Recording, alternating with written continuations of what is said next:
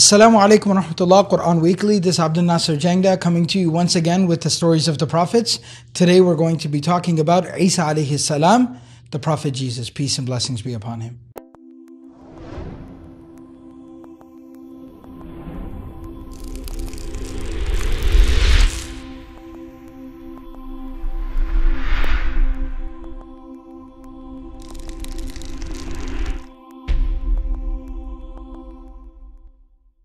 The story of Isa alayhi salam is a very captivating, powerful story from the Quran. He's mentioned numerous places in the Quran, and a lot of the places where Isa alayhi salam is mentioned, his mother Maryam, his mother Mary, is also mentioned. So that's kind of where I'm going to start off at.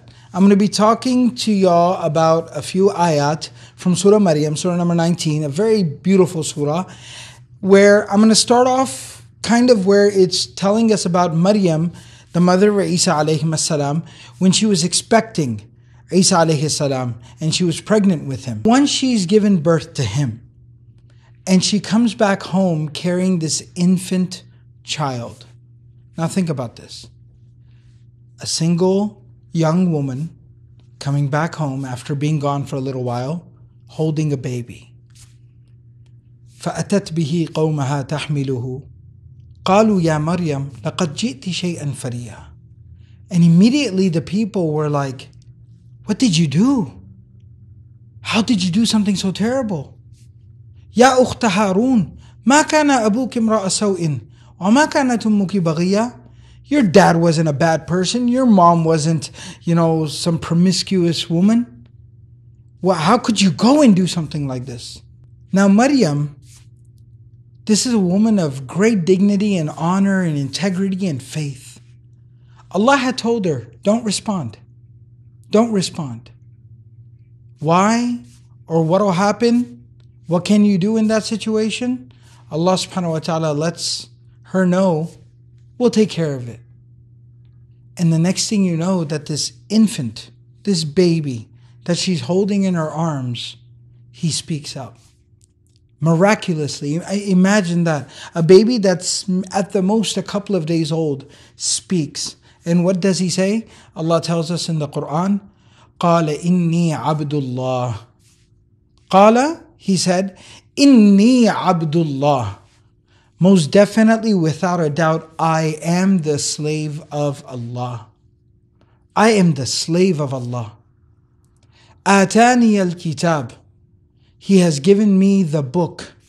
وَجَعَلَنِي نَبِيًّا And He has made me a prophet.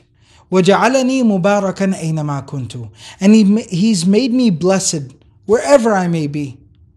وجعلني مباركا أينما كنت وأوصاني بالصلاة والزكاة ما دمت حيا and he has firmly commanded me to stick to prayer in charity or purification for as long as I am alive وبرا بوالدتي ولم يجعلني جبارا عصيا and he has made me someone who is very respectful towards my mother وبرا بوالدتي ولم يجعلني جبارا عصيا and he hasn't made me somebody who's very harsh and he hasn't made me sinful he hasn't made me disobedient or harsh, but He's commanded me and He's told me and made me the type of person who's very respectful towards my mother. والسلام علي يوم ولدت ويوم أموت ويوم أبعث حيا and that peace and blessings will be upon me as long as I am alive the day that I pass away and the day that I will be resurrected and be brought back to life. So this was the statement of Isa alayhi salam as a baby, as a child. What the lesson I wanted to take and extract from here is the pride that we are supposed to have. Yes, pride that usually shocks people because pride and arrogance is a bad thing, except for the fact that we are supposed to be proud and we are supposed to embrace being slaves of Allah. Allah subhanahu wa ta'ala tells us in the Quran, لن يستنكف المسيح أن يكون عبدا لله ولا الملائكة المقربون That the Prophet Isa alayhi salam, he did not find it beneath himself to declare himself a slave of Allah. And the very close, beloved angels of Allah do not find it beneath themselves to be the slaves of Allah. We need to embrace being the slaves of Allah subhanahu wa ta'ala. And there's great honor and dignity in it. And while this is not my primary point here today in this video, one very other powerful thing is Allah tells us uh, ahead in Surah Maryam, ذَلِكَ عِيسَى ibn Maryam. That was Isa, the son of Maryam, Maryam alayhim as-salam. قَوْلَ الْحَقِّ الذي فيه يمترون. This is the true word right here that many people later on came and created doubts about.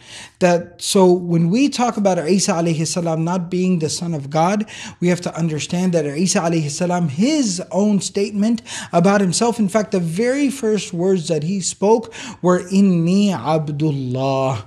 I am the slave of Allah. What a powerful, unbelievable idea. Today, we as grown adults, having all the knowledge that we might have and all the experience that we might have and everything that we've gone through and we've been through, we still, a lot of people still today have trouble saying, I am the slave of Allah. And here, this amazing, remarkably blessed man, as a baby, as a child, as a newborn, his very first words are, I am the slave of Allah. Let's all of us, this might not seem like a very tangible take home point for a lot of people, but to me, it's a very powerful idea. And I'll tell you very honestly, a lot of young people struggle with a lot of different things, crisis of faith, and a lot of different questions they have.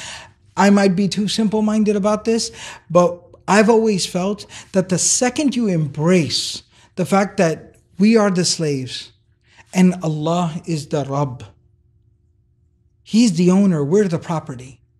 When you can come to terms with that, when you can realize that, when that settles in, everything else makes sense. Everything else is easier to deal with. So I want, as the take home message, as a lesson from this video, sitting right here, right now, say it I am the slave of Allah. I will try to devote and dedicate my life to Allah. May Allah subhanahu wa ta'ala allow us all to live a life of dedication and devotion to Allah, like the great Prophet and Messenger of Allah, Isa ibn Maryam, Isa, the son of Maryam, the Prophet Jesus, alayhi salam.